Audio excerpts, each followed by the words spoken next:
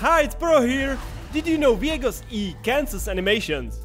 It allows casting W without being revealed, and also for some sneaky ultimates.